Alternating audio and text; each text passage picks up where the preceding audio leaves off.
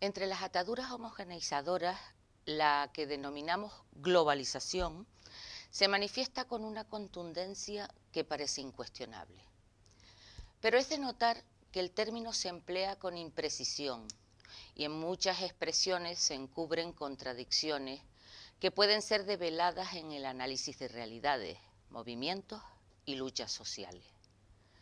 Encontramos, por ejemplo, algunas expresiones de medios de comunicación masiva y de organismos internacionales que encierran profundas inconsistencias, poniendo en tela de juicio los discursos y los hechos a los que hacen referencia.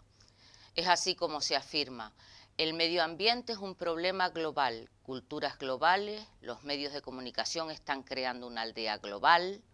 las empresas anuncian la globalización, los economistas hablan de un crecimiento global, se habla de la ONU de un sistema en la ONU de un sistema global, imágenes, nociones, ideas, opiniones, códigos y símbolos transmitidos desde los sectores hegemónicos van desarrollando en los sujetos y grupos con ataduras esquemas de conocimiento y acción que los sitúan en condiciones desiguales frente a la apropiación y construcción simbólica, debilitando su autonomía. En estas nuevas mediaciones, los sistemas de símbolos e imágenes que se ponen en juego siguen siendo dispositivos estructurados y estructurantes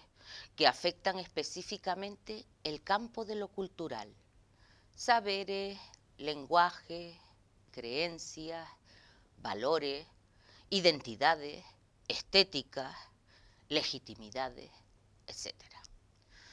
Es entonces, en relación a la construcción simbólica, donde se están reorganizando y reconstituyendo las relaciones básicas de poder entre sujetos y grupos para dominarse, controlarse, explotarse, o por el contrario,